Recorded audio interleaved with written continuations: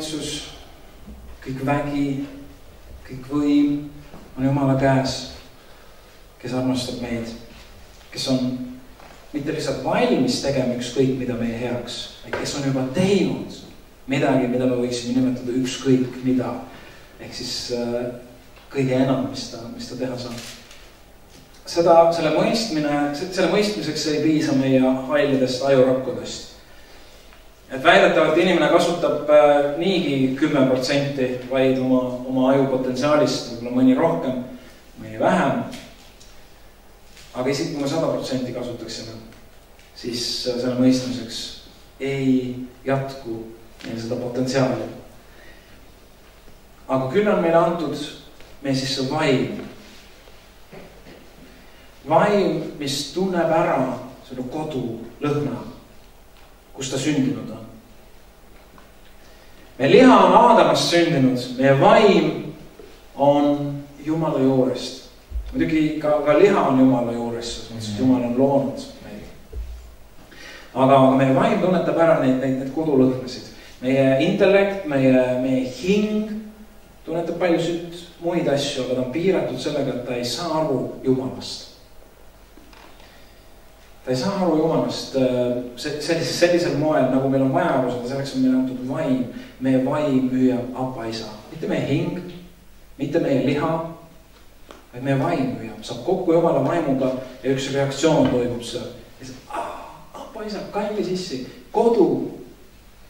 meil on, tõenäoliselt on palju lugusid jutustusi sellest, kuidas keegi on eksinud, keegi on rändamas mööda laia maailma ja siis ta tuleb tagasi ja, ja, ja, tal tuleb võib-olla kõik meelde juba kaugel. et ah, et seal nagu kadunud poja loos, et, et ah, et seal oli nii hea, tuleb meelde ema tehtud kartulipuder ja, ja võib-olla isa, isa tehtud mingisugused ettevõtmised ja, ja võib-olla tema pilk ja tema hääletoon ja, ja see lõhn, mis on toas ja, ja kõik need asjad tulevad meelde, aga sa ei ole veel seal. ja siis, kui sa jõuad kohale, see, see, see, mis emotsioonides valdab, see, see võib võimas olla. Henrik Ibsen on kirjutanud tuntud loo, millele Edward Grieg on kirjutanud muusika Peer Kündist või Peer Jüntist.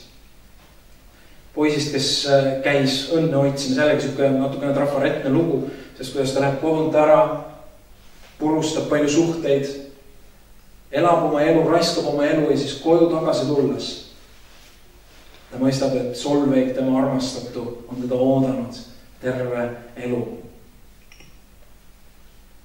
ja see on pilt kadunud poja rännakutest, aga selleks, et sellist asja kogeda, selleks me ei pea olema mittekristlased.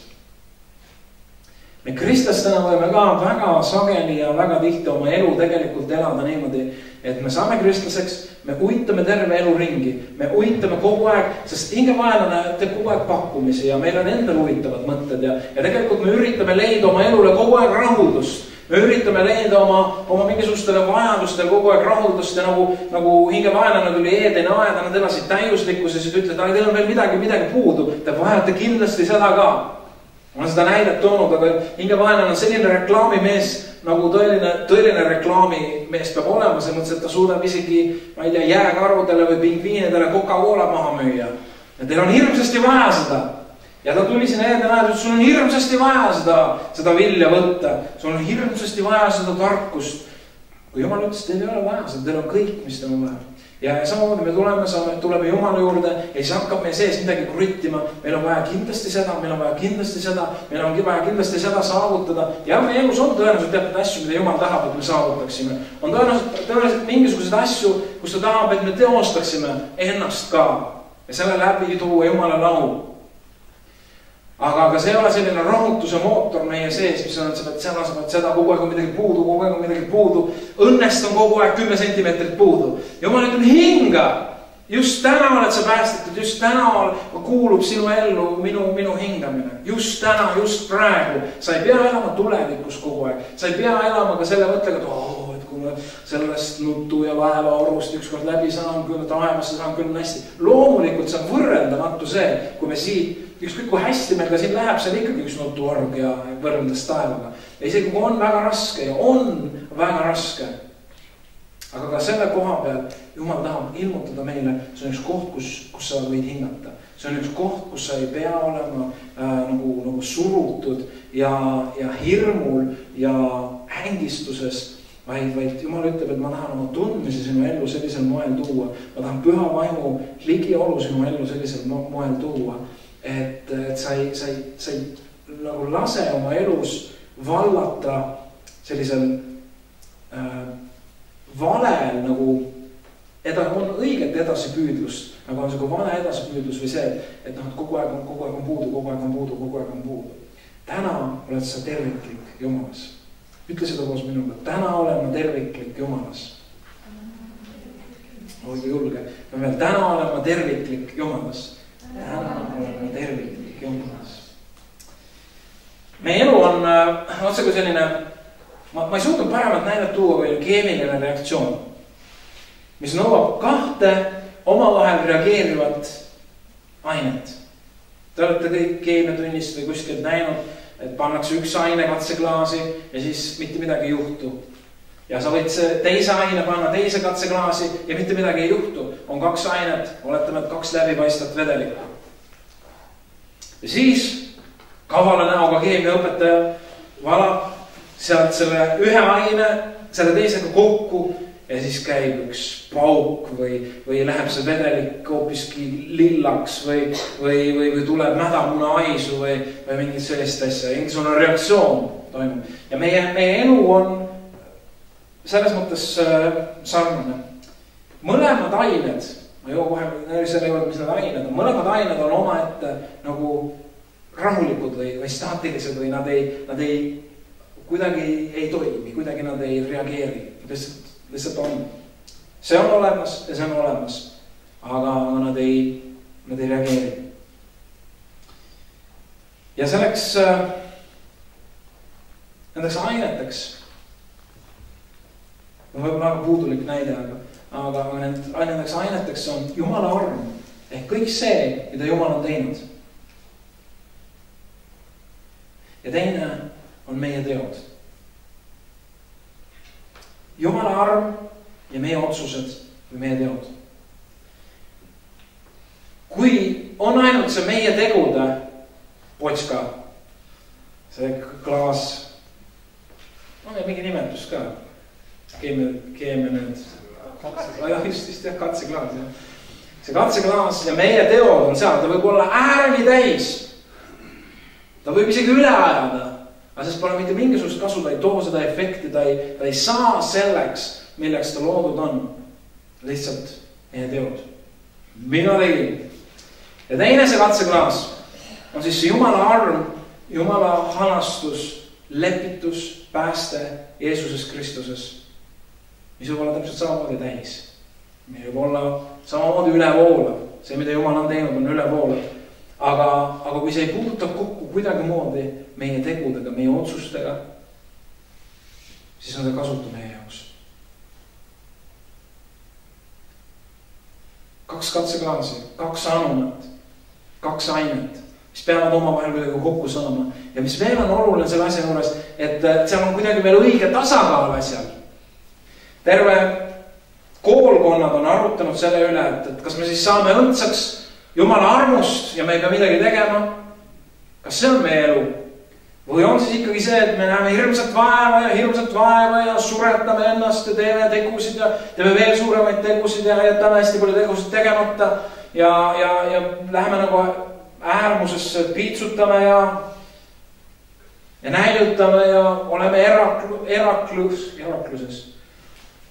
Oleme, eraldame ennast, igasuguseid asju teeme et kumb see õigem tee on, kui me loeme Pauluse kirja roomlastele, siis võib hetkeks tekkida tunne, et me oleme päästetud ja meie usuelu toimib sõltumata meie valikutest. sest jumala arm on nii suur, kes saab hukka mõista meid ja nii edasi, et jumala arm, jumal on midagi teinud, kõik on korras, kõik on hästi. see kuulub sulle. Ja sõltumata minu otsustest, see nagu kannab mind lepase reega, ütlevad eestlased, taevasse, jumala ligiollu ja kui me loeme Jakobuse kirja, siis tundub lausa vastupidine see. et ei piisa ainult ütlemisest, et ma usun, teod on need, mis näitavad, kas ma olen päästetud või mitte. ja seega selleks nii-öelda plahmatuseks või selleks reaktsiooniks, kui me teame, mis asi see õige on, tulemus on, tulemuseks on üks. Jumala püha vaimu täis, jumala kartlik äh, kristlane, jumala laps, kuninga, kuningapoeg ja tütar. ja selleks peavad need kaks ainet, see jumala arm, jumala tehtud, lõpetatud päästetöö ja meie teod, meie otsused, meie valikud kuidagimoodi ühes äh, kolmandas anumas kokku saama. ja toimub üks, mida nimetatakse uueks looduks. mul on südames täna rääkida otsustest, otsused.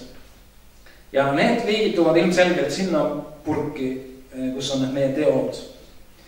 et me valdavalt, eh, võib-olla koguduses on ka õige, et me, me räägime nagu jumala tegudest me räägime sellest, mida jumal on teinud ja see on vaieldamatult, kui seda ei oleks, siis me oleks mitte millestki muust mõtet rääkida aga, aga täna ma tahaksin nagu ja ma usun, et jumala vaim tahab äh, rõhutada seda täna, et mina olen kõik teinud. Ja on üks koht, kus hakkab see, mis meie elus sünnib, sõltuma sellest, mida meie otsustame. ja me võime öelda, et aga need otsused tulevad ka jumala armust ja absoluutselt. võiks öelda, et midagi meie elus ei, ei sünni lihtsalt niisama, aga, aga ikkagi on üks vastutus, on üks koht, kus meie elus meie homne päev, ülehomne päev, meie igavene tulevik on meie kätes. see tundub nagu tead see eestlaste laul, et iga mees on oma saatuses ja oma õnne vale. see on ühelt poolt absoluutselt ebaväär- või ebaõige teoloogia, aga teiselt poolt on ta õige. sellepärast, et Jumal ei ole mitte ühte inimest vägisi taevasse saatnud ja Jumal ei ole mitte ühte inimest kuidagi vägisi põrgusse saatnud. mitte ühte vaid ta on juhtinud meie elust teatud kohtadesse, valikute kohtadesse, kus meil on vaja otsuseid teha. ja meie otsused ei ole mitte see lihtsalt, et me ühe koha peal otsustame taevas või põrgu taev, okei okay., no valime taevas. vaid, vaid tegelikult need on otsused, mis on nagu, nagu väikesed otsused. me võime, okei okay,, päästmise otsus on üks elu kõige olulisem otsus, mis me teeme. naise võtmise otsus ja ei, enne, enne naise võtmis, naise, naise võtmine on järgmine või mehele minek. Aga, aga tegelikult selle, selle tee peal, kui me oleme kitsa tee valinud, siis meil on kogu aeg, kogu aeg need, need otsused tegelikult iga päev. ja teatud süsteemsete otsuste valik võib juhatada meid sealt kitsalt teelt ära. ja teatud süsteemsete otsuste valik juhatab meid meie taevakodule lähemale ja lähemale Jumala lähedusse ja Jumala kirkusesse. otsused meie elus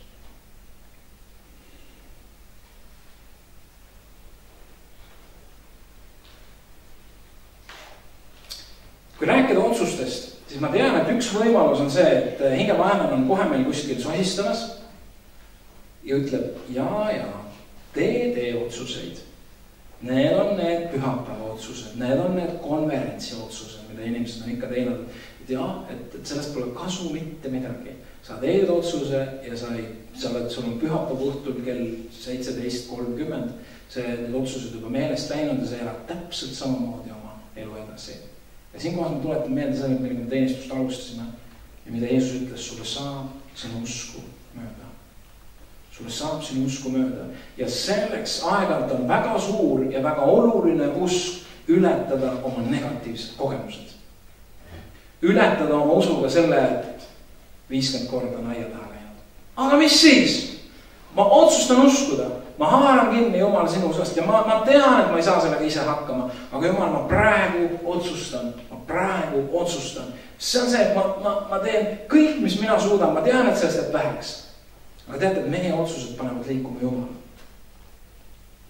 sellepärast mitte seda, et kuidagi jumal magaks ja me siis otsustame siis ta teeb kuidagi oma unis, ai jälle see Timo niheleb see, ma pean ka liikuma hakkama. vaid ta on aktiivses ootamises, ma olen kõik valmis pannud, ma olen kõik valmis pannud ja nüüd Timo, millal on see hetk, millal jõuab sul ükskord kuskile sinna südamesse või, või ma ei tea, kuhu see, et sul on vaja nüüd astuda, sul on vaja otsustada, sul on vaja jalad maha panna ja ütelda, et ei, nii ei lähe rohkem, nii ei saa edasi minna, ma otsustan.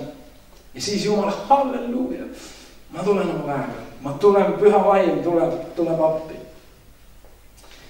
kui rääkida, ennem üldse, kui rääkida meie otsustest, ma tahaks äh, vundamendi laduda sellega, mida Jumal on otsustanud meie suhtes. ja esimeses saamuli kaksteist kakskümmend kaks ütleb nii, sest issand ei jäta maha oma rahvast oma suure nime pärast, vaid issand on otsustanud teha teid enesele rahvaks. nii et selles mõttes me nagu peletame praegu igasuguse siukse hirmu, igasuguse kahtluse, igasuguse ma ei tea, siukse väreluse selles osas, et kas jumal tahab mind, kas jumal armastab mind, kas jumal mind ka igatseb. kas ta tahab, et ikka mina tema rahvas oleks. jumal ütleb jah, jah, jah, väga, väga, väga, väga. ma väga tahan, ma väga armastan sind, ma väga, ma olen, ma olen, ma olen just sinu pärast kõike seda teinud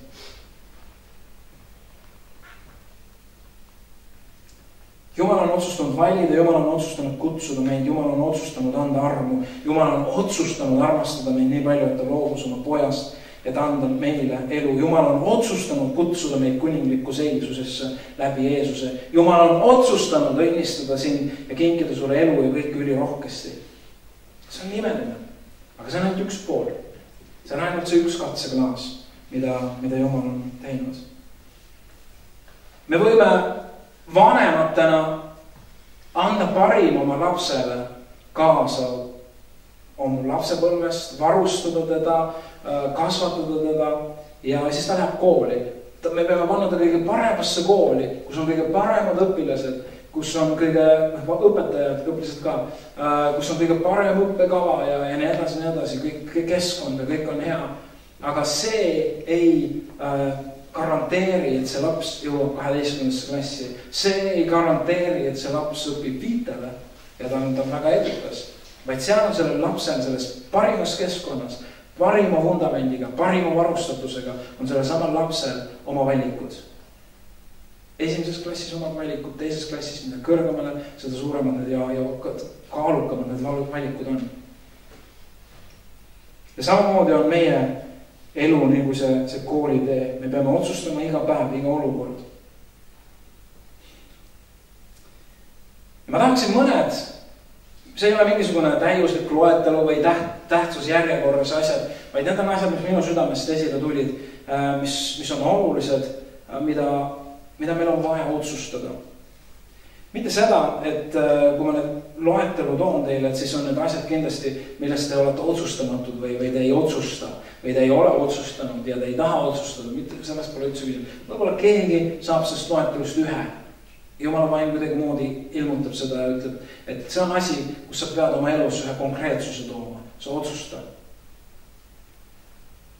ma, ma ei tea, kas ma teile olen seda jaganud äh, koolilastele, ma rääkisin seda ühest mehest, kes lennujaama läks, seal ootas kedagi, ta vaatles ja ta nägi ühte teist meest, kes ootas oma perekonda. ja siis noh, ta sai hiljem aru, et ootas perekonda lennuki peal, ei vastupidi. mees ootas, igal ja mees said kokku ja siis tuli, tuli laps kallistab ja siis sellel mehel on palju emotsioone ja, ja ütleb talle seal midagi ilusat ja järgmine laps tuleb ja ja, ja tuleb järjest suuremaks, lapsed lähevad, kallistavad järjest ja, ja tal on kõigile nende jaoks öelda midagi ja, ja kõige lõpuks ütleb, et oh, kõige parem, kõige lõpuks siis tuleb abikaasa ja, ja teevad pika musi ja, ja siis jälgib see nii-öelda vaatleja seal kõrval seda ja, ja nagu vaimustub sellest ja siis ta võtab julguse kokku ja, ja läheb, küsib, et, et kui kaua te olete abielus olnud, et, et see tundus kuidagi nii värske, see tundus nagu äsja armunud äh, abielupaar kuigi mõistis, et nad peavad ikka abielus olema mõnda aega olnud, sest lapsed olid suured ja siis ta ütles, et jah, ma mäletasin seda aastaid oli paarkümmend või, või viisteist või, või, või kümme. ja siis, aga kui kaua te ära olite? siis oli kaks päeva. et ta kuidagi seostas, kui ta vaatles seda seostust, et kas on, kas on väga värskelt abiellunud või on nii pikalt lahus olnud, et no okei okay,, et siis on nagu mõistetavad siuksed emotsioonid ja sihuke kohtumisrõõm. ja siis ütleb, et kaks päeva ja siis see vaatleja seal nii-öelda ütleb, et aa, et ma tahaks, et kümne aasta pärast minu abielu oleks samasugune, ma igatseks seda.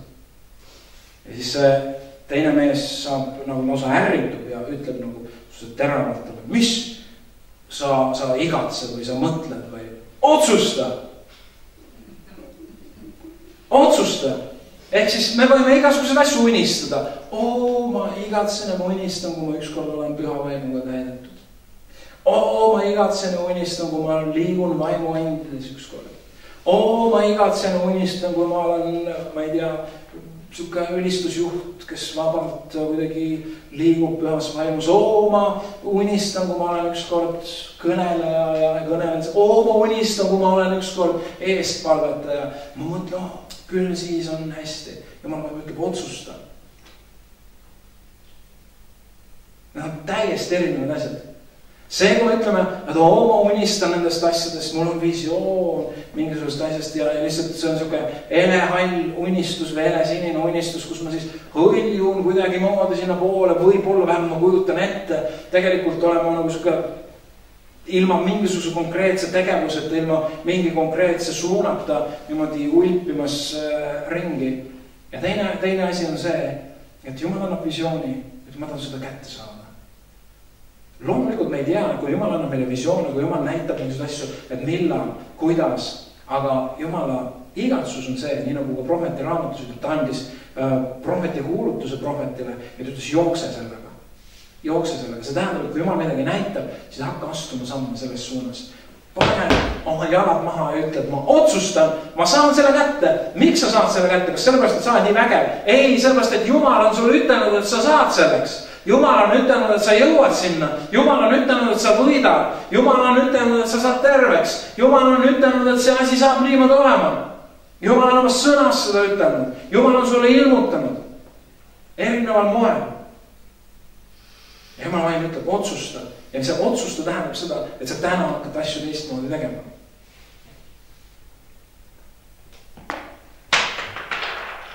See kõlab võib-olla meie kontekstis natukene natukene üleliigsena või, aga, aga see on jällegi üks alus, kui me räägime, et mida, mida on vaja otsustada, kõlab otsusta olla uuesti sündinud.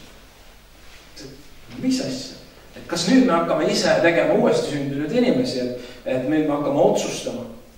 aga tegelikult see uuesti sündimine on täpselt samamoodi otsustamisega üks pool on otsustamine, üks pool on see, et jumal asetab sulle kingi sinu ette, nõnda on jumal maailma armastanud. ja teine pool on see, et sa võtad selle vastu tõesti, tõesti, ma ütlen sulle, kes ei sünni ülalt, ütleb Jeesus. Jeesuse autoriteetsed sõnad. siin ei ole mingi kirikute kogu kokku tulnud või, või, või, või keegi tähtis, mingisugune vaimulik autoriteet seda ütelnud või vähem tähtis, vaid see on Jeesus isiklikult ütelnud, tõesti, tõesti, ma ütlen sulle, kes ei sünni ülalt, ei või näha Jumala riiki. ja kui me selle mõista, kui me selle põhimõtte nagu lükkame kuskile vaiba alla, ütleme, et see on probleem, mis tekitab kirikute vahel probleeme. või see on küsimus, see on asi, millest me päris täpselt aru ei saa, et las, las see olla. ma ei kujuta ette, see. ma ei oskagi head võrdlust tuua, see on umbes niimoodi kui padjaklubis. no teate, padjad on siuksed imelikud asjad, et lükkame, jätame need koju, ärme, ärme pattadega tegele padjaklubis noh, andke andeks nõrga võrdluse eest, aga, aga põhimõtteliselt see asja tuum jäetakse tegelikult kõrvale. kogu piibel, kõik, kogu vaimulik pool lakkab töötamast. või, või siis seda, kui ta hakkab tööle, siis kui me oleme ütelnud jah Jeesusele Kristusele. ja, ja see otsus sisaldab mitte seda lihtsalt, et ah, Jeesus Kristus, et okei okay,, et sa oled, vaid see, see otsus sisaldab seda, et mina olen patune. see on otsus, mina olen patune ka jumala püha vaim annab mulle seda mõista, aga sinul on otsustada, sellepärast et on küllalt neid inimesi, kellel jumala püha vaim annab märku, et see on patt, sa oled patune ja meie te termin või defineerime selle ümber, see on minu omapära. see on meie otsus, kas nõustuda jumala püha vaimu häälega, ma olen patune, oma olemuslikult patune. See on otsus, et Jeesus on minu surnud, see on otsus, et ma annan oma elu Jeesusele see on otsus, et tema on kuningas, see on otsus, et ma olen õige läbi Jeesuse lunastuse. see on otsus, et ma usun, et püha vaim elab minus, see on otsus, et ma tahan olla juhitud pühast vaimust. see on otsus alla anda ise hakkama saamast. see on otsus loobuda olemast iseenesest keegi, see on otsus anda oma elu Jumala kätte, uskuda, et see, mida Jeesus tegi, on piisav. seda sisaldab see otsus jah Jeesusele see on otsus, nüüd ei ela enam mina, vaid elab Kristus minu sees. ja, see on tegelikult hästi oluline punkt, et okei okay,, me võtame need negatiivsed, et see on, see on otsus, Jeesus on, ma ei tea, või ma, ma olen patune või see on otsus, ma ei saa hakkama, ma olen sellega nõus. aga oluline pääste juures on oluline täna ka otsustada seda, et ma võtan vastu ja ma elan selles teadlikult ja praktiliselt, et ma olen, ma olen piisav läbi Jeesuse Kristuse, ma olen piisav, ma olen terviklik täna. see annab hingamise kõik see, et ma olen puudulik, ma olen patune, see juhib meid nagu, nagu meeleparandusse, see juhib meid sellisesse nagu, nagu allapoole. aga sealt alates, et Jeesus Kristus rist on piisav minu jaoks täna, minu jaoks, isiklikult minu jaoks. küll, küll, küll, ükski, keegi ei saa minu vastu tulla, kui Jumal on minuga, kõik see asi, kogu see nagu pakett. see tõstab meid nagu ülesse ja see toob meie ellu ühe, ühe rahu, rõõmu ja, ja õiguse Need meiepoolsed otsused, kui me räägime sellest, need ei tundu väga vaimulikud. aga see, et sa oled võimeline ja tahteline täna seda otsust tegema, et ma otsustan, et ma olen piisav Jeesuses Kristuses. see on ka üks püha vaimu töö meie sees. ja see, mis sellele järgneb, sellele otsusele, see on täpselt samamoodi püha vaimu töö, üleloomulik töö meie elus. üks vale arusaam religioosses Kristuses, ka sellises võib-olla äh, nagu, nagu ilma elava usuta Kristuses on see, et see, mida Jeesus tegi meie eest, on vaid see, et me saame oma patud andeks ja midagi muud ei muutu. ehk siis vahe on see kahe inimese vahel, kristlase ja mittekristlase vahel, mitte mingisugust muud vahet ei ole, et üks on patune ja ta pole andeks saanud, teine on täpselt samasugune ja, ja ta on andeks saanud. ühelt poolt on see nagu õigus, mõlemad on patused, kes on andeks saanud üks on andeks saanud, teine ei ole. aga, aga seal, see, mida Jumal on tahtnud esile tuua, on see, et see andeks saanud Jumala lepituse vastu võtnud kristlane asub ühe, ühe, ühele üleloomulikule muutuse teele. üleloomulikule pühitsuse teele. ja see on absoluutselt Jumala, Jumala töö. kui Jeesus tuleb meie ellu, siis hakkab asju juhtuma sa vaimustad Jumala asjadest, sa igatsed Jumalaga koos olla, piibel muutub su leivaks, palve muutub su eluks. sinu õnn ei lähtu inimeste arvamusest või oma saavutustest, sinu õnn on see, et sa oled Jumalale lähedal, sinu elust hakkab sodi ja prahti ära kukkuma selle läbi. sinu elus on vägi, mis ei ole sinust enesest. nii et Jumal ei valmista lihtsalt taevast inimeste jaoks, vaid Jumal valmistab inimesi taeva jaoks. sa võid oma valealandlikkuses esitada küsimuse, no kes olen mina et ma siis otsustan olla uuesti sündinud. ja see ongi meie osa, seda otsustada, sest Jumal on selle juba ammu otsustanud ja ta kutsub. Tiituse kolm viis ütleb, siis ta päästis meid mitte õiguse tegude tõttu, mida meie nagu oleksime teinud, vaid oma halastust mööda uuesti sünni pesemise ja püha vaimu uuendamise kaudu. kuidas ta on päästnud meid? uuesti sünni pesemine ja püha vaimu uuendamine. Need on nagu pääste saamise ja omandamise instrumendid. sõna ja vaim, sõna ja vaim. ja see aus küsimus, üks missionär oli, kelle kaudu väga palju või tekkis ärkamised seal, kus ta liikus, aga mitte, mitte paganate seas, kus ta liikus nii-öelda või, või nende mittekristlaste seas, vaid need ärkamised olid kaasmissionäride seas, seas, sellepärast ta armastas küsida ühte küsimust inimeste käest kogu aeg ja see küsimus oli, kas sa oled uuesti sündinud.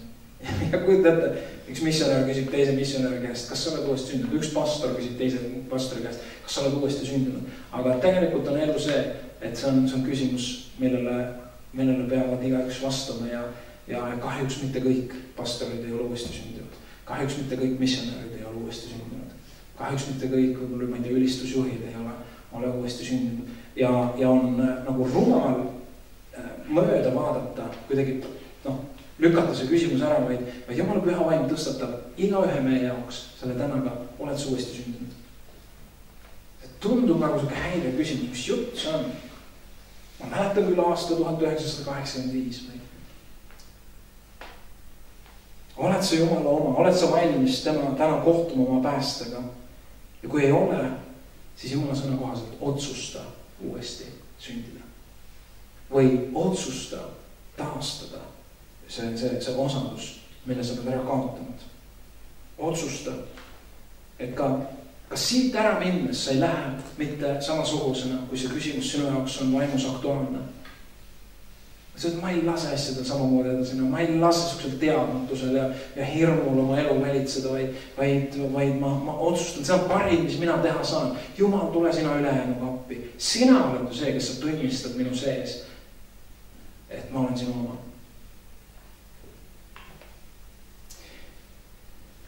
teine otsustav on võib-olla veel häirivam. ja see on otsusta olla rõõmus. mis jutt see on? kui ma olen rõõmus, siis ma olen rõõmus, kui ma olen kurb, siis ma olen kurb, ma ei saa alati rõõmus olla. aga jumala sõna ütleb, olge rõõmsad, taas ma ütlen, olge rõõmsad, Philippi neli, neli ja, ja, ja see, sa ütled, see pole minu otsustada. kas ma olen rõõmus või ei ole. Piibel ütleb teisiti, piibel ütleb, olge rõõmsad, taas ma ütlen, olge rõõmsad. piibel ütleb, et sa võid valida kas oled rõõmus või masendunud. loomulikult see valik ei ole see, et sõltumata, kuidas sa elad, sõltumata teistest valikutest, ma praegu otsustan, ma olen rõõmus. ei tule välja, võib-olla on vaja mingisuguseid alamastme otsuseid varem teha juba selleks, et vundamenteerida või, või kuidagi, kuidagi varustada seda rõõmus olemist varasemate otsustega või siis vastupidi, me teeme otsuseid, mis loovadki meie elus ühe, ühe niisuguse tingimuse ja soodsa tingimuse olla masendunud jumal sõna ütleb, olge rõõmsad, taas ma ütlen, olge rõõmsad. sa ütled, aga sa ei tea, mis ma tunnen. ei tea. piibel ütleb, et jumal teab ja ta ütleb ikkagi, olge rõõmsad. kui Jeesus ütles, ärge kartke, siis äh, ikka nendes olukordades, kus oli põhjust karta, mitte nendes olukordades, kus oli väga lahe hirmus, põnev ja, ja mõnus olemine ja siis Jeesus ütles, et ärge kartke, no mis siin pole mõtet ütelda, sellepärast et siis, siis, siis nad ei karda, aga ta ütles jüngritele, kui ta rääkis metsikult keerulistest olukordadest, mis on tulemas või milles nad on. jumala vaim ilmub või Jeesus ütles, ärge kartke, see on otse kui olge rõõmsad, ärge laske sellel asjal enda üle saada võimust. las see olemusviis, mis on olemuslik minule, mis on püha vaimu vili, las see tulla teist välja. olge rõõmsad see ei tähenda seda, et ei oleks leina, see ei tähenda seda, et me käiksime kogu aeg selline, sellise naaberringi nagu oleks lind pähe lasknud või ma ei tea, mis nägu ma olen siis tegelikult, siis ma vist ei ole väga rõõmus, ma ei tea, miks niimoodi öeldakse. et, et käib, käib ringi nagu lind oleks pähe lastud, ma olin küll väga kurb, kui mul ükskord valguse tee koosolekul pidin minema ja Pirita rannas jalutasin ja siis mul lind pähe laskis. mul oli ikka tükk tegu, kuidas üldse nagu muuta ennast selliseks, et teiste inimeste sekka nagu minna, ma ei, ma ei olnud väga rõõmus. Aga et see nii-öelda olge rõõmsad ei tähenda seda, et sihuke pidevalt sihuke keep smile on äh, ette kleebitud. Ähm, aga see on üks selline sisemine helgus, sisemine sära, mis paratamatult on väljendub kuidagi väljapoole. ma ei tea, oled sa kohanud läbinisti sünge inimesega, kes on ikka läbi, sõltub, kui on koht, kohtad, siis see on nagu, nagu selline kilomeetri kaugusel on temaga kaasas sihuke, sihuke hall äh, ilm. tal on kogu aeg midagi valesti ta näeb kõike tumedalt, ta on nagu okkaline siil. ja ta ise meiega ütleb, et aga ta ongi selline, midagi pole teha, aga ei pruugi olla. jumal ütleb, otsusta olla rõõmus, võib-olla üks läbimurre, üks läbimurre selle koha peal, kus sa, kus sa paned nagu jumala abiga jalad maha, ütled ma keeldun, ma keeldun tean, et mul ei tule, ole välja tulnud, ma olen seda varemgi mõtelnud, aga ma keeldun ikkagi, ma hakkan rajama ühte vundamenti oma elus, sellepärast et Jumal ütleb mulle oma sõnas, et ole rõõmus. Jumala vaim ütleb, ole rõõmus, sest see, sellepärast, et see on Jumala olemus. ole rõõmus. ma hakkan rajama midagi oma elus koos, koos Jumalaga. otsusta olla rõõmus. meie otsused võivad olla elu muutvad, aga need nõuavad, nõuavad usku ja need nõuavad mugavustsoonist välja tulemist mis värvi me oleme, kui meid kõrvalt vaadatakse? mõtleme mingisugust sihukest värvispektrist, spektri skaalat ja, ja siis olen mina selleks, me ei ole head enesehindajad tegelikult, seda peaks teiste käest küsima. et ütelge, mis värvi olen mina, kui te, kui te jälgite mind, et noh, kas, kas ma olen seal sihuke oranži kollase poole, mis võiks siis olla rõõm, või pigem sihuke äh, hallikas must enamasti ma käin allikates mustades riietes, nii et ma olen nagu sealpool. et aga, aga et, et mis, mis värvi me oleme, mis lõhna me kanname eneses, see on, see on oluline, sellepärast et jumala sõna ütleb, et, et, et las Kristuse hea lõhn tulla meist, et kindlasti üks osa sellest, kuna see on vaimu vili, on rõõm. ma otsustan, et see minu elule tooni andev värv on rõõm, ma ei lase lihtsalt, kui ma kogen enda elus nagu sihukest äh, hallust, kui ma kogen enda elus sihukest nina mutta äh,, sihukest suhtumist siis ma teen kõik, mis ma suudan. ma ei lase sellel lihtsalt oma elul olla, vahet pole, ma olengi selline. vaid ma võtan kätte, ma ei tea, ma võtan kätte jumala sõna ja ma loen, olge rõõmsad, taas ma ütlen, olge rõõmsad, ma, ma sunnin, teen oma, piiblis öeldakse, tee oma liha, tee oma ihu enda orjaks. ja vahest on ihu vaja enda orjaks teha ka selles, et sa rebid oma suunurgad ülespoole, sa, sa võtad laulu otsa üles ja laulad tänu Jeesus, Jumal on hea kogu aeg, Jumal on hea kogu aeg, sest rõõm, issand, on minu tugevus. sellel ajal, kui sinu emotsioonid möllavad seal mustas meres kuskil, lainetavad, tahavad, ma ei tea, kõik segi peksta ja sina tõstad üles, sa teed oma liha enda orjaks. Ja ütled, ma lasen jumala viljal endast välja tulla. rõõmus. vahest on vaja tõenäoliselt midagi sellist teha. ma otsustan. võib-olla see sellel hetkel tundub totter. aga tead, see annab ühe signaali, et sinu eluga ei saa ükskõik mida teha emotsioonid emotsioon ei tule ja ei ütle sulle, et asjad on niimoodi, vaid sinu vaimus on teadmine, sinu vaimus on üks tugevus, ütleb, et mis sa siin, jumal sõna ütleb seda, olge rõõmsad. järgmine on otsust olla rahul. no see läheb nagu juba Peep Vaini koolituseks kätte, sihuke eneseabi koolitus, et ära mõtle halbadele asjadele, ole rõõmus ole rahul, kõik on hea, mul on vaikselt, ma ei tea, ma pole kunagi käinud tegelikult, ma toon kogu aeg seda Peep Vaini koolitust. see on tegelikult suurepärane äh, omas valdkonnas, suurepärane tase. aga, aga see on, kui, kui selline mudel võtta kogudusse, siis on probleem.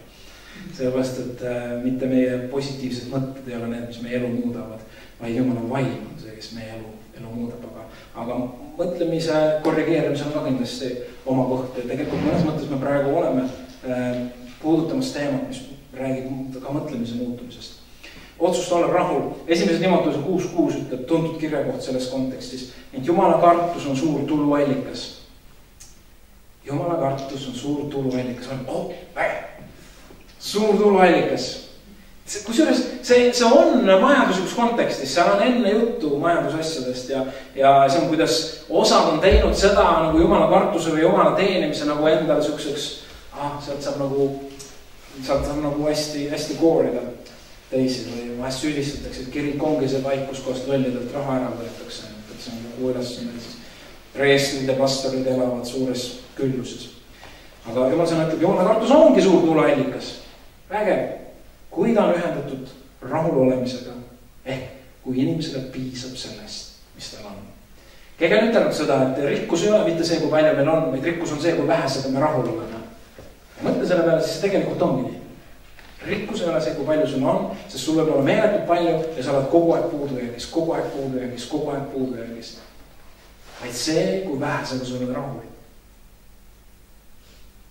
ma istusin paar päeva tagasi poti peal, mitte et seda, et ma harukordne oleks, aga, aga ja seegi ei ole harukordne, poti peal head mõtted tulevad. ma istusin seal ja, ja, ja siis mõtlesin, ma istun vannitoas, millel on põrandasoojustus ja, ja veega WC-pott ja dušš ja kahelplaadid seinas ja põrandal ja ilus, mulle meeldib noh, see on enamasti nii. aga siis ma mõtlesin seal, et huvitav, kas ma oleksin valmis sellest loobuma. meil on täiesti kuiv käimlad olemas, see on küll mingit sodi täis, aga, aga et äh,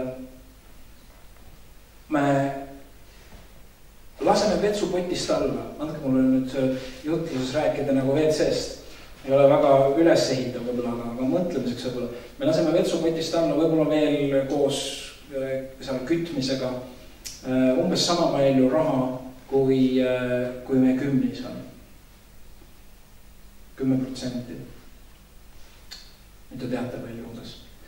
Äh, see on päris palju, sellepärast et meil on see kogumistünn, mis, mis võtab, selle vedu võtab päris palju. ja ma saaksin, kui ma loobuksin sellest ja hakkaksin kasutama kuivkäimlat, kus on külm kus ei ole nii mugav. mul jääks selle kü-, teoreetiliselt, mul jääks üle kümme protsenti ja kui ma väga vaimulik tahaks olla, siis ma võiksin selle külvata, näiteks ma maksaks jumala riiki kakskümmend protsenti. teoreet-, ma lihtsalt teoreetiliselt arvutan. kas ma oleksin rahul, kas ma, kas ma lepiksin sellega? loomulikult me teame, alati on elustandardit väga keeruline tagasi tõmmata enda elus, aga teoreetiliselt ma arvan, et äh, ei oleks väga probleem kui ma tunneksin väga-väga suurt äh, ja, ja tungivat jumala juhatust ja, ja vajadust selle järele. aga teate, kes pidid nagu kõige rahulolevamad inimesed olema? Te näete tegelased, kes on oma niude vööga, jooksevad vibud seljas mööda metsa ringi, ajavad, ma ei tea, keda taga, jääsi. Ja, ja me nimetame neid primitiivrahvasteks. seda võiks nimetada püha lihtsameelsus, milles nad elavad Nad ei tea midagi börsikrahvidest, nad ei tea midagi veega WC-pottidest, nad ei tea mitte midagi äh, mingisugustest äh, pangakaartidest, mingisugustest maksetest, mitte midagi. Nad on rahul sellega, mis neil on. Ma ei räägi sellest, et me peaksime nüüd kuivkäimatele üle minema, kellel ei ole, kellel, kes on meiega me, ma ei räägi sellest, et meie maja peaks olema kõige hullem sara ja auto peaks olema sedasi, et usu peal ainult püsib koos. aga ma räägin südamehoiakust. rahul olemine on seotud väga-väga palju tänulikkusega. see, kus sa täna oled, sõltumata sellest, kus sa täna oled. kas sa tõused hommikul ülesse? Tean, et igaüks meist tõenäoliselt ei tõuse igal hommikul ja, ja igal hommikul, põhimõtteliselt, ma räägin põhimõtteliselt, kas sa oled võimeline hommikul täna üles tõusma, ütled tänu Jumalale selle eest, mis mul täna on tänu sulle selle korteri eest või selle maja eest või, või, või, või nende inimeste eest, lähedaste eest, kes mul on või, või kas selle eest, et ma ei tea, ma olen üksi ja mul on, mul on, mul on rahu, vaikus. Keegi ei lärma siin ja, ja keegi ei aja mind hommikul vara ülesse, kui ma tahaksin äh, edasi, edasi magada ja, ja sõltumata olukorrast, tänu jumalale, et mul on rattakummid täis. mul oli igavene jama, ma, ma, see ratas, mis, see tõukeratas, mis Victoria kinkis meile väga õnnistuseks äh, olnud meile ja, ja tal sai sügisel ajal oli kumb, kumm niimoodi, et oli vaja täis pumbata, siis ta sõitis jälle mõnda aega, aga, aga siis paari päeva pärast oli tühi. Aga noh, see on natuke minu moodi. selles mõttes, et nii kaua kui liigub, nii kaua pumpamisega täis, vähemalt paar tundi püsib, nii kaua ma ära ei vaheta seda. aga siis ma otsustasin, ma otsustasin sel kevadel nüüd, ma teen ratta, rattakummid, vahetan ära tegin emal, tegin rattakummi korda ja vahetasin sellele tagumise väikse ratta ka. ja, ja käisime ühe tiiru sõitmas ka, järgmine hommik vaatan kumm tühi. ma olin nii õnnetu. see, see on väga tänulik on, sellepärast et ma mõtlesin, mina rohkem ei vaheta, et, tõenäoliselt ma kuidagi vahetamise protsessis, mul on enda rattaga ka alati, vahetan ära, jälle on mõne hetke pärast kumm tühi, tõenäoliselt ma seda mutrivõtmega lõhun seal, kui ma seda peale panen sinna nii et ma tõenäoliselt viin poodi vahetamisega. tänu jumalale, et on poes keegi, kes vahetab. no see võtab natuke raha selle eest küll, aga. et kas ma olen tänulik nende võimaluste eest, mis mul täna on, kas sa oled tänulik selle eest, et sul on võimalik tulla jumalateenistusele? Meil on valida kusjuures veel, meil on äh, mitmeid võimalusi. ja see tänulikkus ei tohiks sõltuda naabri nagu seisust, et tänu jumalale, et ma olen täna parem kui naabrist mul on parem auto või, või ma olen vaimulikult kõrgemal tasemel või, või mul on rohkem süüa, kui tänu jumalale, et see, et see, see ei saa iialgi see, see nagu võrdluspunkt olla. et meie elu võib olla ka selline, et me näeme öösel paineid sellest, kuidas minul on kõige kehvem auto ja minul on kõige väiksem vannituba ja kõige koledam köök. aga otsusta olla rahul, otsusta olla tänulik selle eest, kus sa, kus sa täna oled jällegi, see ei tähenda seda, et me ei peaks edasi pürgima. see ei tähenda seda, et kui meie, meil midagi katki läheb, et me seda korda teeme ja, ja, ja, ja parema võib-olla muretseme ja nii edasi. vaid, või, või et keeldume tegemast juurdeehitusi, ma pean rahul olema sellega, mis mul on. aga see on südamehoiak.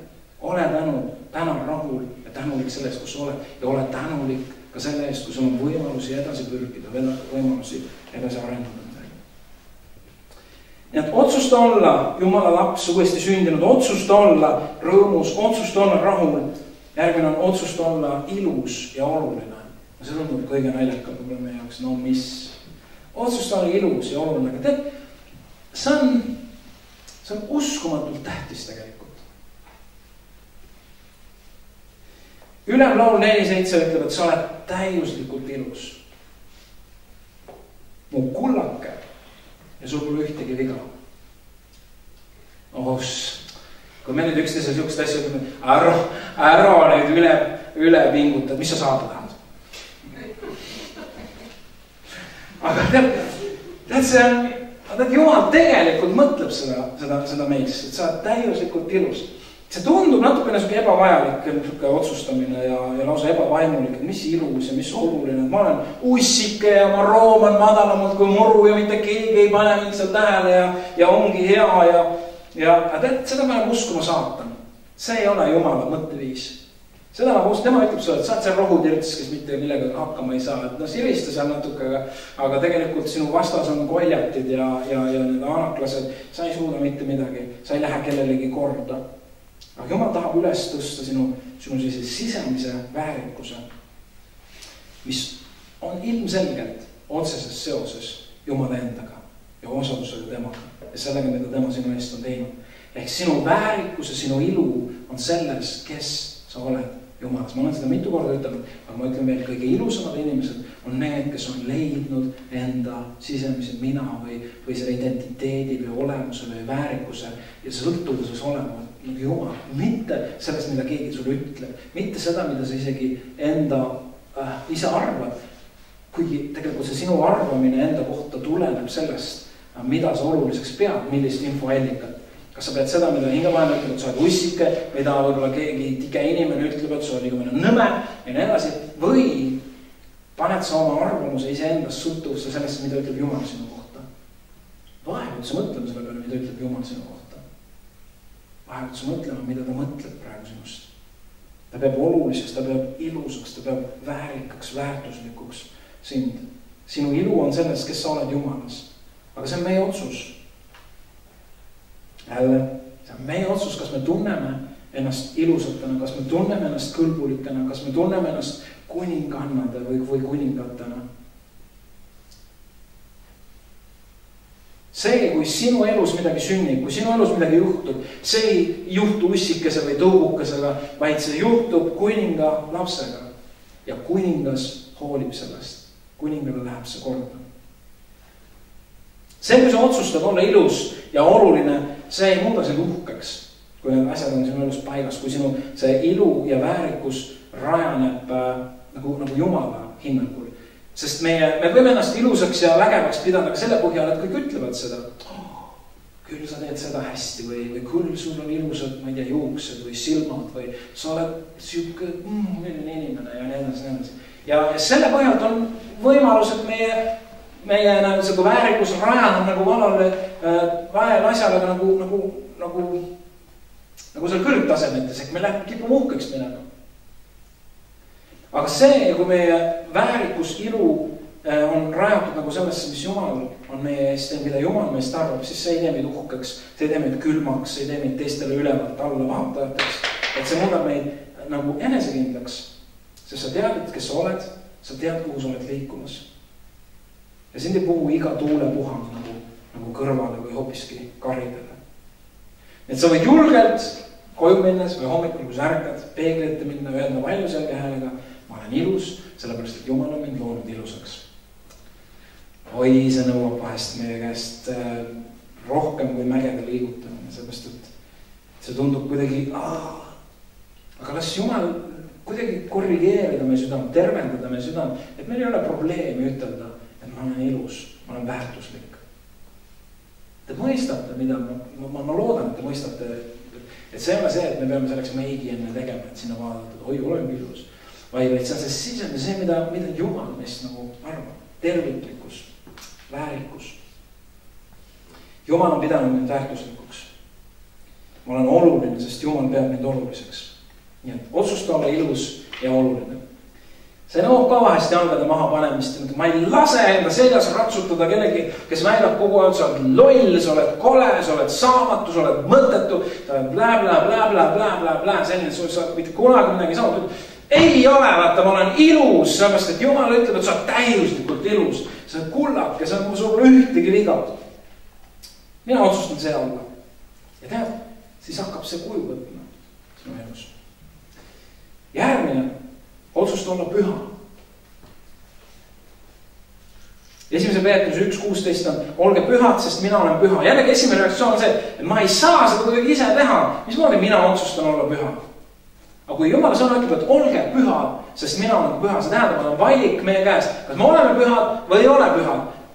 kas me otsustame olla pühad või, või ei otsusta. on täiesti tarbetu asi piiblisse selline asi kirja panna, kui meie poolt oleks kuidagi õigustatud suhtumine, ah niikuinii ei saa me pühadeks või, või siis vastupidi, et niikuinii me oleme pühad. seal on nagu kaks mõistet või, või kaks sihukest poolt. ühelt poolt me oleme pühad, kui me oleme Jeesuses Kristuses, meie positsioon on see, et me oleme pühad. Jeesuse Kristuse läbi on meid tehtud pühadeks. saame seda nagu kuidagimoodi öelda ja amen. me oleme Jeesuses Kristuses tehtud pühaks, meid on Jeesuse verega puhastatud, see on meie positsioon, aga selle positsioonilt on nüüd midagi, mida me saame teha midagi, me saame otsustada, kas me teeme pühasid tegusid, kas me mõtleme pühasid mõtteid, kas me astume pühasid samme või vastupidi, teeme me kuidagi, rikume me seda positsiooni, kuidagi kahjustame me seda. Ja teeme, teeme neid teistpidiseid valikuid. jumal ütleb, et püsige selles pühaduse positsioonis, ärge laske patul seda ära rikkuda. hoidu enda elu määramast. kuidas me hoidume pattudest?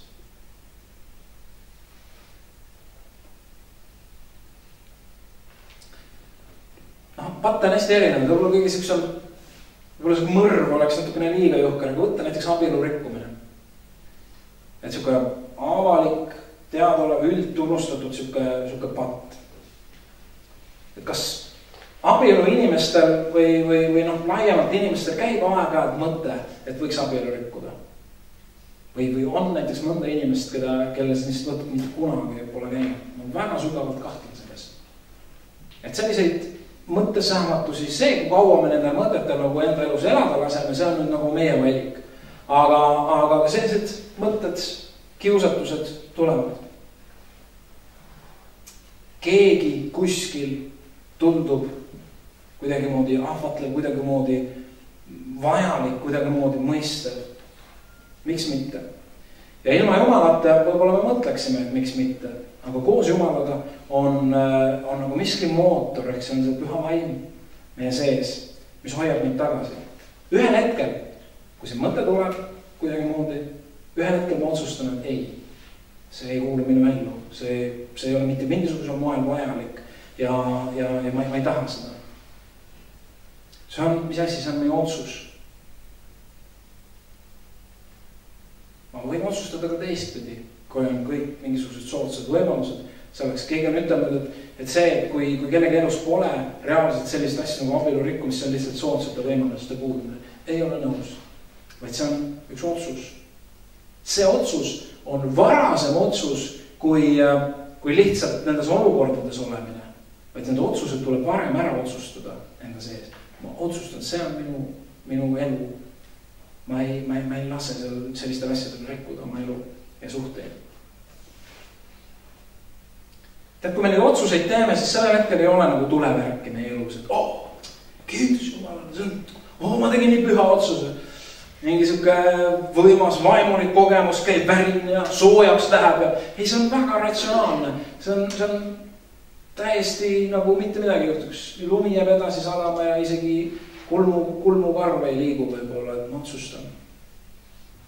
ma otsustan. ma otsustan valida pühanduse patu asemel järgmine otsus, kui sa oled patustanud, kui sa oled eksinud elus, siis otsusta esimese asjana joosta risti alla.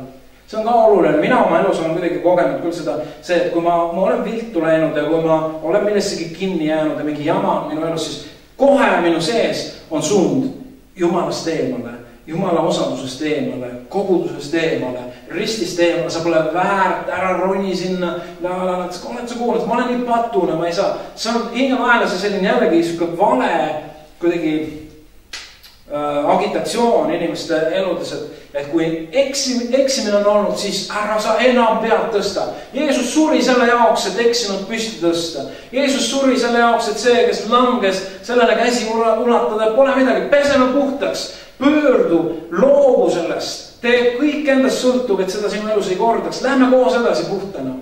ja see on see ja meil tuleb, okei okay,, meil tuleb see, et meil on liiga palju, liiga palju oleme kukkunud, liiga palju oleme eksinud äh,. piiblis Jeesus õpetas, et seitsekümmend korda seitse, põhimõtteliselt ütles, et, et noh. nii palju, kui sa püsti tõused, nii palju sa saad õigeks. Jeesus ei pidanud kuidagi mingisugust limiiti, aga see on üks oluline asi esimese Johannese üks üheksa ütleb, kui me oma patud tunnistame, siis on tema ustav ja õige nõnda, et ta annab andeks meie patud, puhastab meid kogu üle, ülekohtust. jumal ei lase mängida endaga. et kui me siin maailmas suudame kuidagi ära petta inimesi, et, et jätame ühe mulje nagu, et aga tegelikult on asjad minu südames hoopis teistmoodi. jumal ei, ei lase läbi seda, et me tuleme Jumala juurde ja ütleme, et oo, et Jumal läks, läks kehvasti, tegelikult juba mõttes on see, kuidas me tean, et ma järgmine kord, ma ei, ma ei tahagi sellest patust loobuda. vaid, vaid ma juba vaatan, kuidas, kuidas järgmine kord seda pattu teha, aga kuna peab ju andeks paluma, et siis ma lähen, siis see ei toimi jumala arm sellisel moel. ükskõik, mis juhtub, ära tee hingevahemesele topeltrõõmu, kui sa oled saanud langema, kui midagi on valesti läinud, ära tee talle topeltrõõmu, et sa siis loobud Jeesuse ette minemast, risti alla minemast mina olen kuidagi väga reaalselt teatud olukorras see kuidagi, ma, see, see on see valik, see on otsus. ma olen teinud vale otsuse, ma olen kukkunud.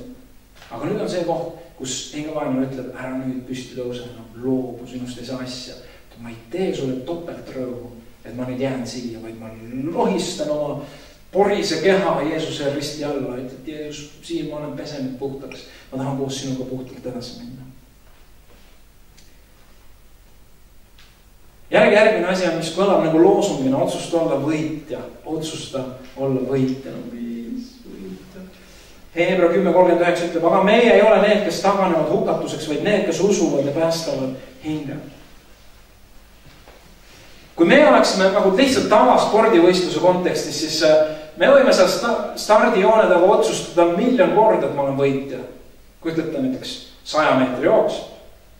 ma olen seal pakkuda, ma olen võitja loomulikult ma, ma olen täiesti kindel, et see psühholoogiline pool on sellisel alal tohutult oluline ja nad teevadki seda. Nad sisendavad endale, et ma olen võitja, ma olen võitja. aga tead, kui sinu äh, rekordiaeg on, Usain Boltil on, Boltil on seal kuskil üheksa koma seitse, kaheksa, ma ei tea täpselt neid rekordeid. ja kui sinu rekord on kuusteist sekundit, sa võid seal sisendada palju sa tahad. kui sa oled pakkudelt juba püsti saanud, siis Usain Bolt on juba lõpus ja seda reaalsust ei muuda väga mitte miski, kui sa endale mingit turbomootorit külge ei, ei äh, meisterda. et, et nii, nii see on.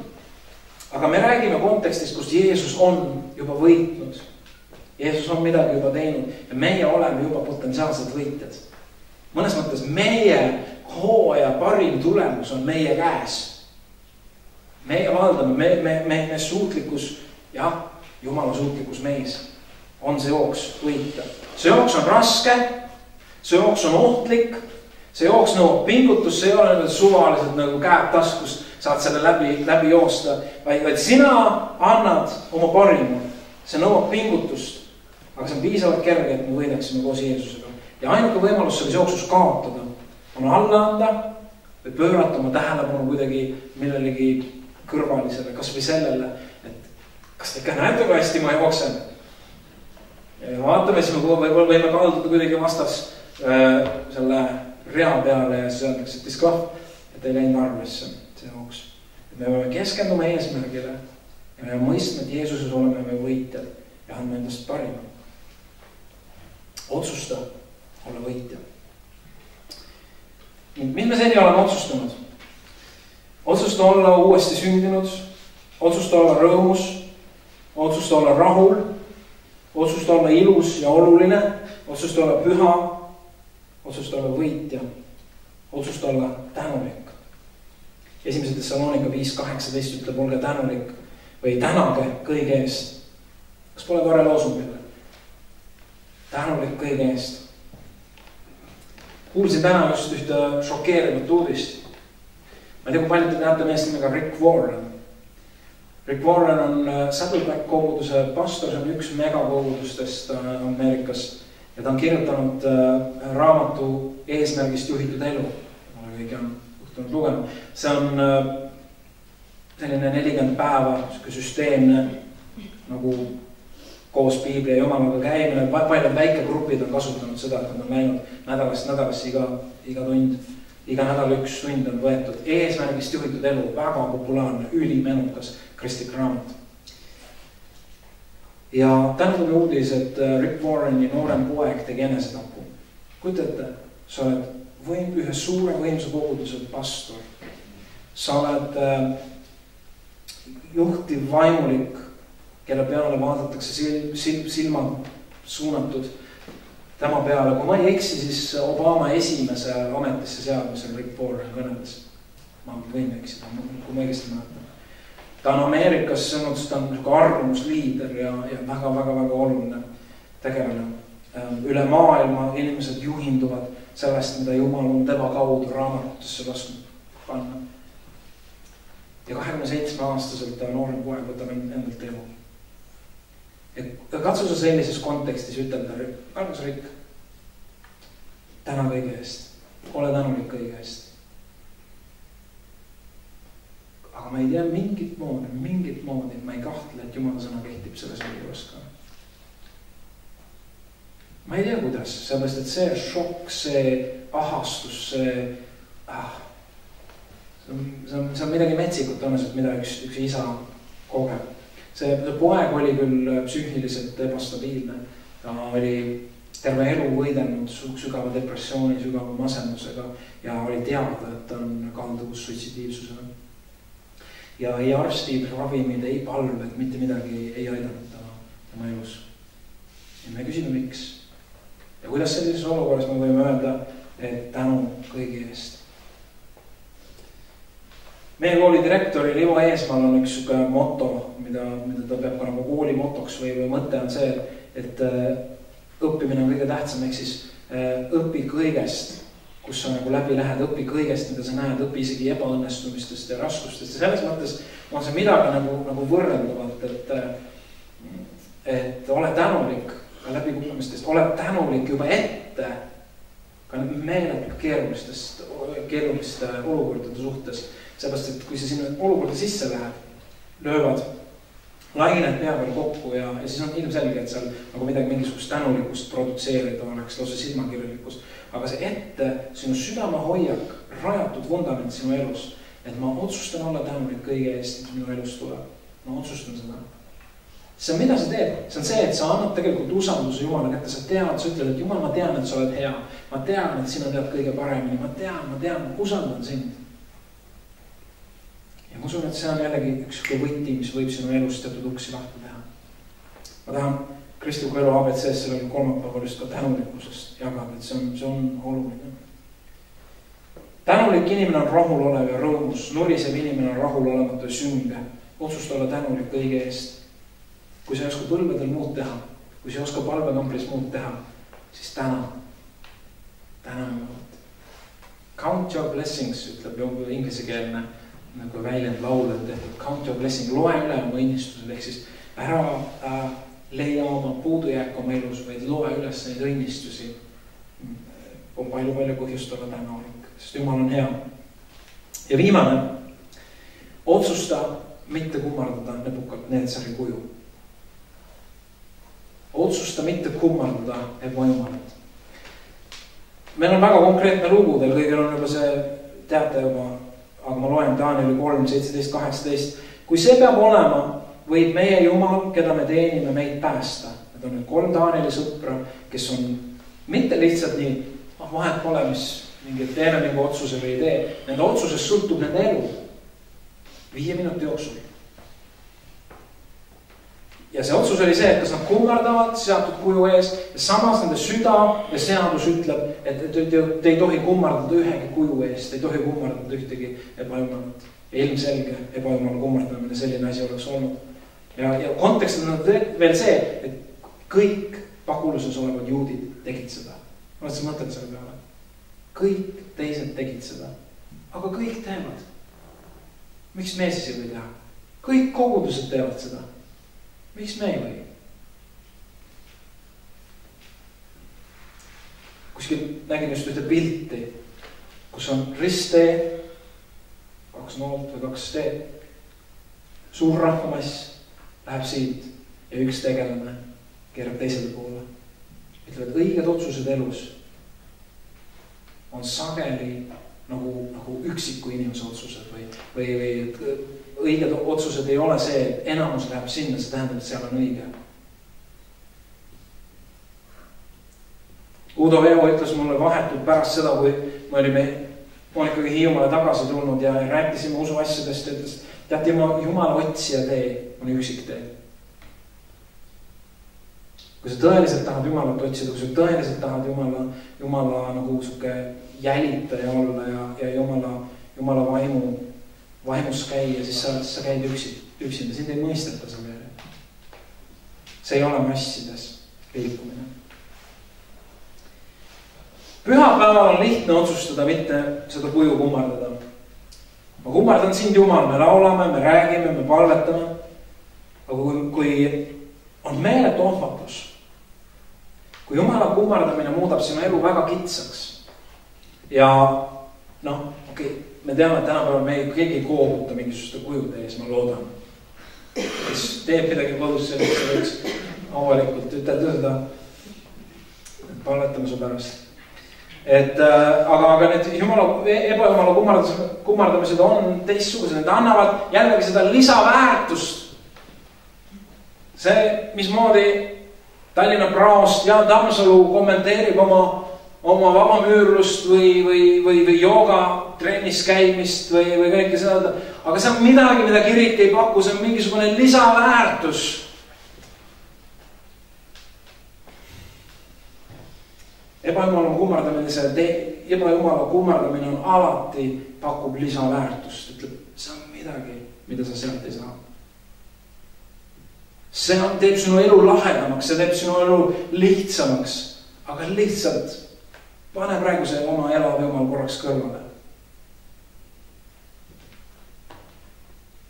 otsusta kompromissitult kummardada Jumalat. jällegi juba ette, enne kui need valikud tulevad. Mida see tähendab, sa ei lase määrata oma elu otsuseid millelgi ega kellelgi muul kui Jumalal ja tema sõnal. see on vundament. ütleme see otsus on see, et sa ei lase määrata oma elu otsuseid ei hirmul,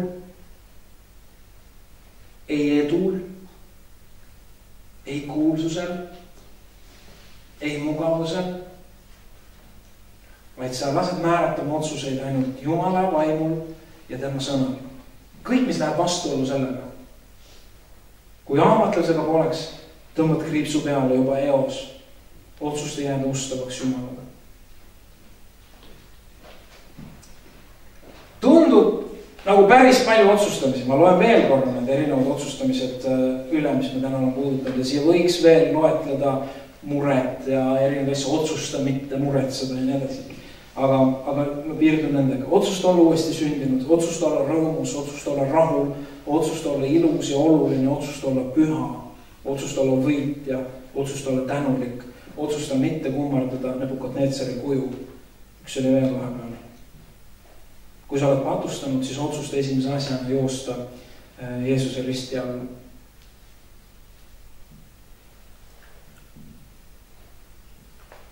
Selleks, kui nüüd tuua tagasi see alguse juurde, see kaks pudelit või kaks katseklaasi, võtame kaks pudelit, selleks, et äh, osa saada Jumala armust selleks, et jumala arm ja õnnistus realiseeruks, sellelt tuleb pudelil kork ära võtta ja kuidagimoodi ennast valada jumalasse või lasta jumalal valada endid meisse ja see käib läbi otsuste.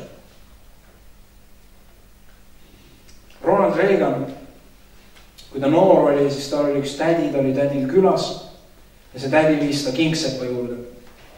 ja kingsepp küsis, see oli kingsepp selles mõttes, et äh, lasta kingsepal uued jaanad teha. kingsepp küsib, kas ma teen kinganina ümmarguse või tema kandilise.